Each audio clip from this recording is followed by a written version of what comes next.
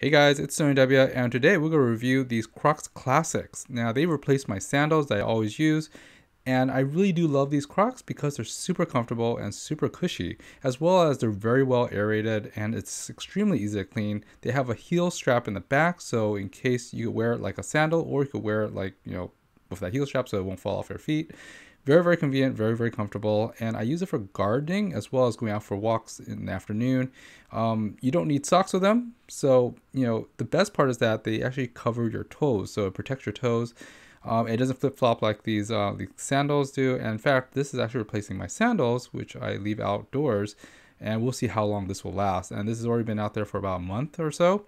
So we'll see. Um, at the same time, I do like the fact that it's easy to clean. So if I do work in the garden, I could use this. Or if I'm walking to my, you know, down the street, I just put these on. I don't really have to put socks on, but you could put socks if you want. You can also decorate these things too, but to be honest, I like the utility of these things. They're comfortable. They do, um, if you, it fits my feet very well in the first couple of weeks it does was kind of snug at the sides, uh, but at the same time it wears in. So with a little bit of the sun and the heat, it now it conforms to my feet really well.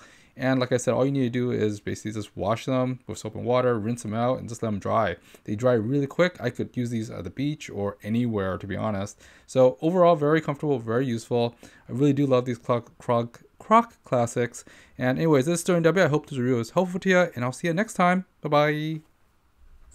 Anyways, if you haven't already, please like, subscribe, hit the bell button for the Sterling W channel. I do a lot of Costco runs, price checking, as well as new product finds. Anyways, there's also a lot of long-term reviews and updates, as well as other fun current reviews and stuff, as well as DIYs and how-to videos. So check out the channel and have fun. See you next time. Bye.